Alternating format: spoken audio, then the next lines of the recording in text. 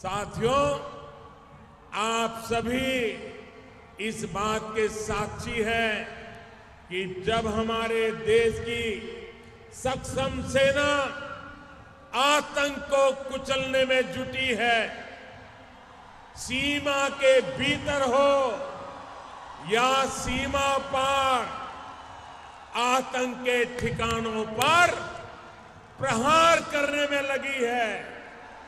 ऐसे समय में देश के भीतर ही कुछ लोग क्या क्या कर रहे हैं? देश की आवाज़ को, हमारी सेना के हौसलों को बुलंद करने के बजाय वे ऐसी बातें कर रहे हैं जिससे दुश्मनों के चेहरे खिल रहे हैं पाकिस्तान में टीवी पर उनकी बातें, उनकी तस्वीरें दिखा दिखाकर पाकिस्तान में तालियाँ बज रही है।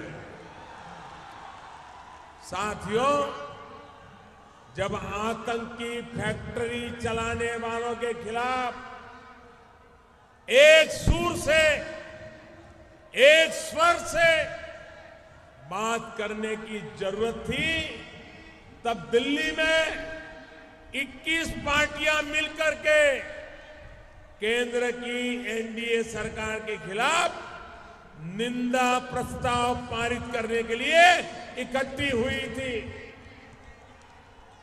बिहार का, देश का कोई भी सकारात्मक सोच वाला व्यक्ति उनके उस कृत्य को कभी भी माफ़ नहीं करेगा। करेगा क्या? माफ़ करेगा क्या?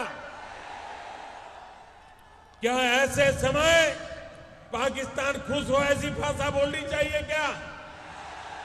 क्या पाकिस्तान में तालियाँ बजे, ऐसा पाप यहाँ करना चाहिए क्या? क्या ये शोभा देता है क्या?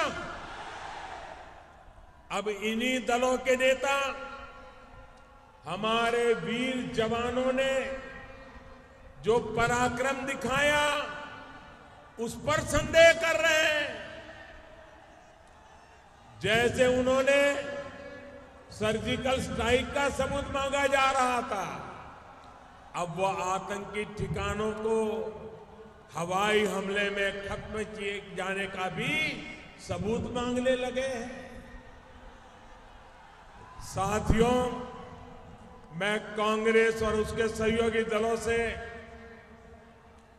जानना चाहता हूँ कि आखिर वो क्यों हमारे वीर जवानों का मनोबल तोड़ने में लगे हैं?